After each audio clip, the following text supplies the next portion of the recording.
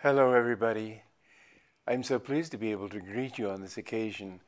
It's um, a little like bilocation because actually, while you're having an event in Palo Alto, we're having another event in Delhi, and so I'm going to be speaking in two places. And uh, uh, we can call it a miracle, although I think we may have seen behind the scenes and know that it's not.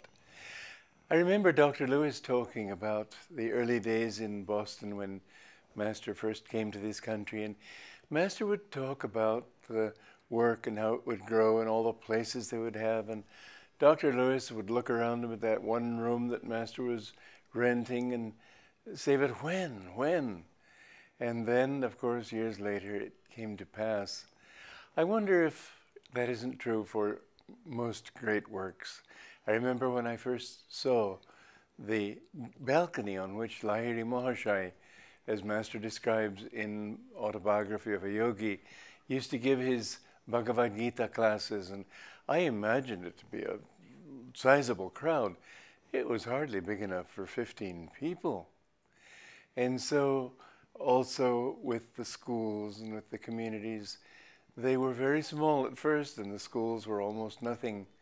But I do believe this school system, as well as the communities, will have a lasting impact because they're telling something very important for this age.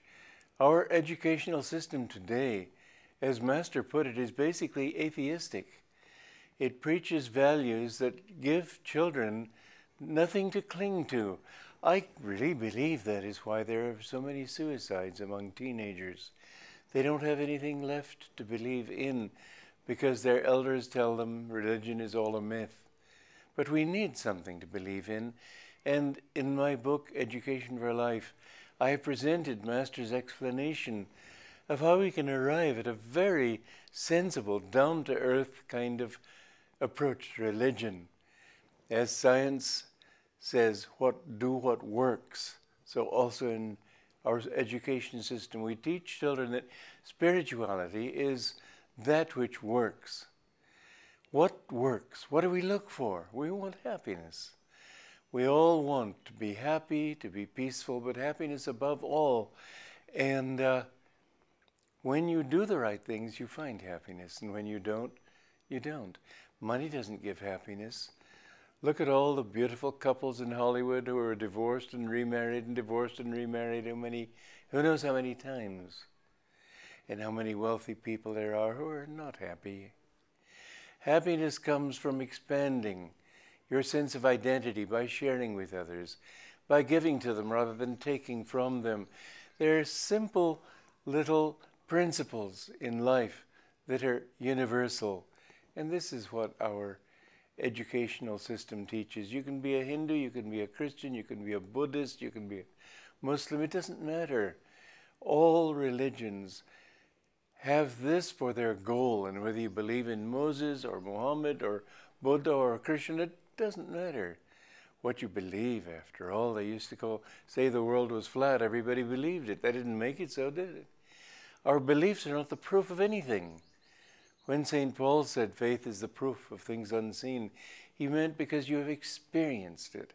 That is the basis of faith. When you experience joy, then you know it works. When you experience that it's, it's better because you feel happier and more fulfilled to share with others rather than take from them, and to cooperate with them rather than compete with them in a cutthroat way. This is what our education system is all about and it's based on timeless wisdom. So I really do believe that this education system is going to sweep the world. And uh, I won't be around to see that. Maybe you won't either.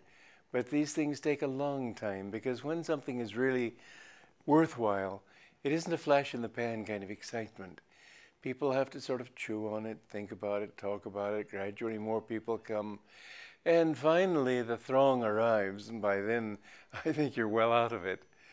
But I'm so pleased that we have a very viable school in Palo Alto, which is, in a way, the um, sort of cutting edge of this age in, in our times, anyway. the intellectual capital of the world. Perhaps you couldn't quite say, but in a way you could. There's a great deal of intellectual ferment in Palo Alto with computers, with Stanford University, with all the things that that uh, um, we find people flocking to when they come to Palo Alto.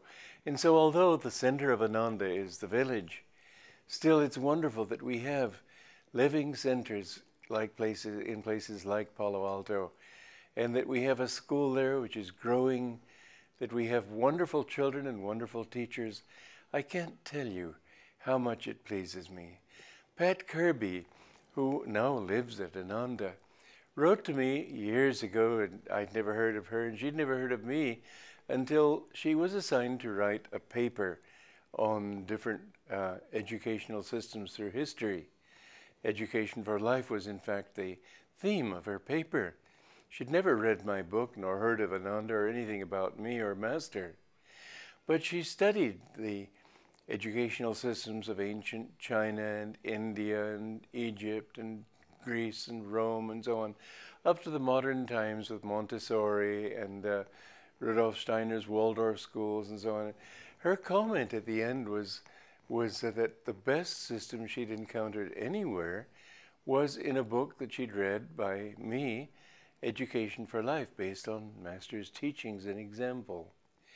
And she finished her book by quoting extensively from my book. I was happy that she did so, and I'm happier still that she came and lived there. But this was just one of the, I believe it's going to be a typical pedagogic reaction to um, this system, which is so meaningful and doesn't strip children of the sense of idealism and aspiration that is so much a part of uh, what growing up should be. To grow up to a barren life is surely not what education is for. It isn't just to give people uh, uh, the knowledge they need to get a good job. It's how to live as a fulfilled human being that's what our living wisdom schools are about. And I'm so pleased to be able to speak for this function and to offer my love and blessings and goodwill for everything that is happening there. I hope to see the same thing happen here in India. Joy to you and God bless you.